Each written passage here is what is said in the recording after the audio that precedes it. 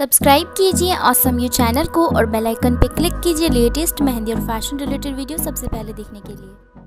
ही everyone आज आपके साथ शेयर करने वाली हूँ। बिल्कुल न्यू जो ट्रेंड चल रहा है सेंग्स एंड कोट्स को डिज़ाइंस में, लिखने का मेहंदी डिज़ाइंस में, ना केवल ब्राइड्स के लिए बल्कि ब्राइड्स के फ्रेंड्स के लिए इवन ग्रूम्स के लिए एंड जो ब्राइड के सिस्टर होते हैं ब्रदर्स होते हैं सब के लिए एंड काफ़ी ज़्यादा यूनिक तरीके से लिखी जाती है कोड्स एंड सेंग्स तो वो सारी कलेक्शन मैं आपके साथ आज शेयर करने वाली हूँ। बहुत सी जगहों पर मंत्र भी लिखते हैं एंड जो वेडिंग के हैश होते हैं, वो भी लिखा जाता है। तो बहुत ही कूल एंड फंकी लगता है है एंड बहुत ही ज़्यादा आप न्यू भी बोल सकते हैं एंड मुझे बहुत ही अच्छा लगा ये कॉन्सेप्ट सो आई थॉट कि क्यों ना आप लोगों के साथ शेयर किया जाए।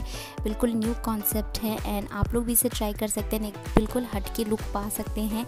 सो so, यहाँ पे मैंने बहुत सारे ही डिज़ाइन जो हैं आप लोगों के साथ शेयर किए हैं तो आप इसे इंस्पायर्ड होकर आप भी इस तरीके का क्रिएट कर सकते हैं।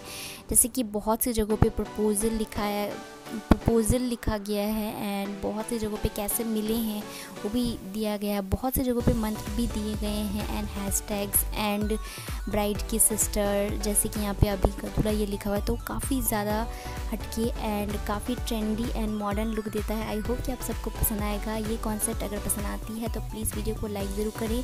जैसे कि वेडिंग सीज़न चल रहा है काफ़ी धूमधाम से तो आप मेहंदी में इस डिज़ाइन को ट्राई कर सकते हैं ब्राइड्स के लिए या फिर कोई भी हो ब्राइड्स की फ्रेंड्स होती हैं सिस्टर्स होती हैं, सबको इस डिज़ाइन को लगा सकती हैं। आई होप कि आप सबको ये कंसेप्ट पसंद आएगा। अगर पसंद आए तो प्लीज़ वीडियो को लाइक ज़रूर करना कमेंट करके ज़रूर बताना कि कैसी लगी। एंड अगर चैनल को अब तक सब्सक्राइब नहीं किया तो प्लीज़ सब्सक्राइब भी कर लीजिएगा। Thank you so much for watching this video and bye